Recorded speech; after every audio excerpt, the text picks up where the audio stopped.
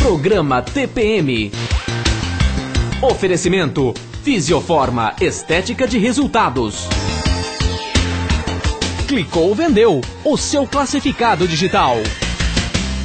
Temos ouvido falar muito sobre a agressão do ator Dado Dolabella com a ex-namorada Luana Piovani. E vai ser hoje aqui, agora no TPM, que nós vamos esclarecer sobre o que vem a ser essas agressões.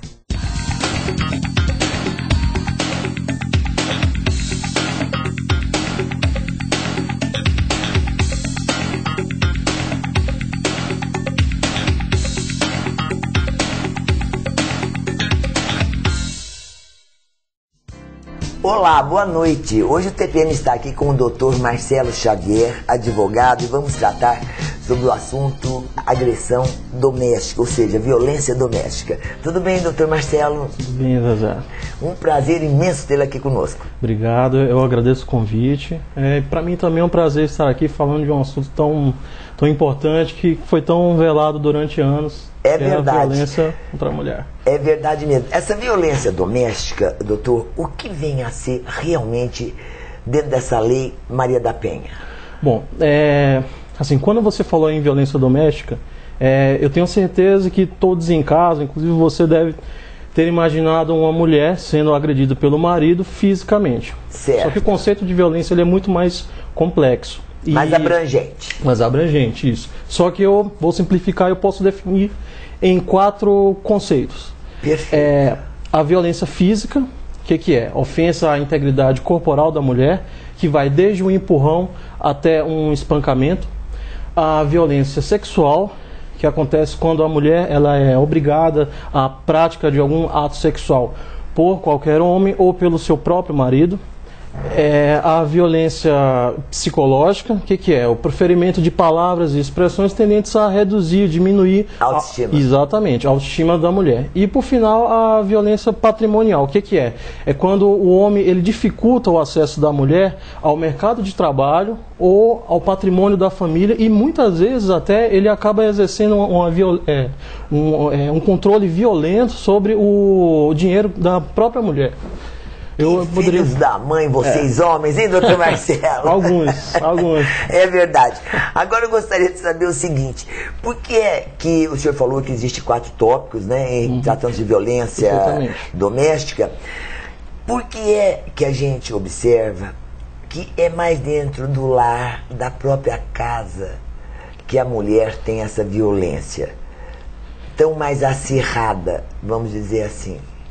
É, veja que interessante. É, uma pesquisa divulgada agora em novembro do ano passado é, revelou que dentre 54 países, o Brasil, nosso país, ocupa o topo da lista, é o primeiro é, lugar em agressões domésticas. Que absurdo. Assim, essa pergunta ela comporta mais de mil respostas, mas a que mais me convence é de que o homem latino-americano, o homem brasileiro ainda recebe na sua criação Na cultura mesmo, Exatamente. educação. Desde pequeno, essa coisa de chefe de família, de, isso, de chefe da casa. Aí você soma isso a- ao instinto agressivo que a ciência já disse que o homem tem. Você soma os problemas sociais que aumentam a cada dia. E, por final, a impunidade. Desse choque de, de elementos, o único resultado possível é, o, é a violência eh, doméstica. Quer dizer, então, saco de pancada e vamos nessa mulherada. Infelizmente. Mas, doutor Marcelo, vamos ver. Agora nós pegamos algumas, ah, alguns depoimentos na rua.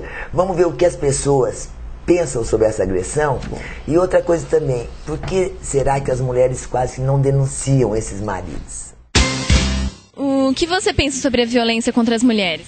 Acho um absurdo, né? Um cúmulo que é tipo assim, é o homem abusa da autoridade dele por ser homem, ser mais forte e tal e, e a mulher o sexo mais frágil, mais fraco e assim acaba prejudicando ela, né? Batendo, magoando às vezes na- com palavras. É uma coisa horrorosa. Precisa. A lei precisa ser cumprida, a Lei Maria da Penha, né? Tem que ser cumprida porque a violência está muito grande. A gente tem que ajudar as mulheres que são violentadas, que são judiadas demais pelos companheiros, pelas pessoas, enfim. Eu acho muito válida essa, essa a punição que está acontecendo. Ainda bem, né, que o Brasil está acudindo as mulheres. E por que você acha que as mulheres não denunciam? Muitas das vezes é, fica oprimida, né? Não tem para onde ir, está desempregada, depende totalmente do esposo. Acredito que seja medo que elas tenham de denunciar. Medo do parceiro, né, que possa fazer algo para elas. Eu acredito que seja medo. Pois é, é engraçado, né, doutor Marcelo? A gente ouviu isso daí. Umas acham que não vão atrás de, de algum socorro pela lei por ter medo do marido, porque elas têm uma dependência financeira. E as outras, será que não confiam realmente na nossa lei, na impunidade, no caso que existe nesses casos? Bom, é, eu achei muito interessante as, as considerações das pessoas que foram ouvidas. É, realmente existe a dependência financeira, existe o medo de represálias, e eu somaria mais um elemento. Muito simples. A mulher ela vive um conflito. O que, que é? O primeiro conflito é emocional, ou seja, ela sente raiva daquele agressor porque ele agride ela. Mas ao mesmo tempo ama. E ao mesmo tempo ama, por quê? É o seu marido, é o seu namorado e muitas vezes é o pai dos seus filhos.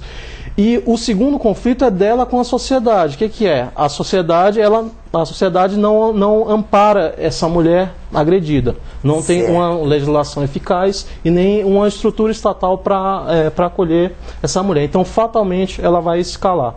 Por quê?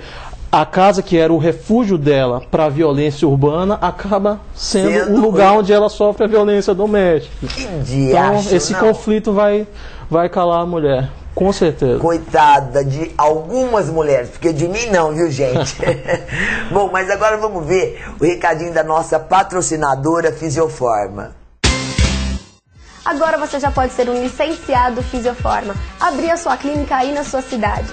Um ótimo investimento para você que quer atuar no ramo da estética, que atualmente é um dos que mais crescem, né? Oferecendo serviços de qualidade. Olha, há 15 anos no mercado, a Fisioforma oferece a seus clientes excelentes resultados e uma melhor qualidade de vida. Por isso conquistou tanto respeito e hoje é a maior clínica estética do interior paulista. São cinco unidades: Ribeirão Preto, Franca, São Carlos, são João da Boa Vista e a mais nova unidade aberta em Araraquara.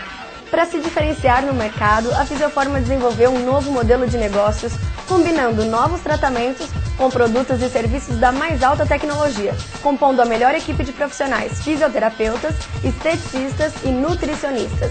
Tudo regulamentado pelo Manual de Boas Práticas, que assegura os padrões de qualidade.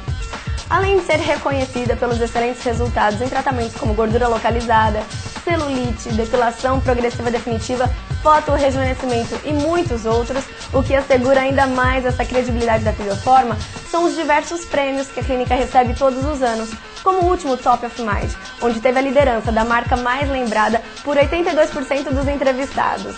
Agora, nessa fase de expansão, a Fisioforma busca investidores. Conhecimentos em gestão são necessários, mas o imprescindível mesmo é você estar afinado com a filosofia de trabalho da Fisioforma e querer crescer junto com a marca.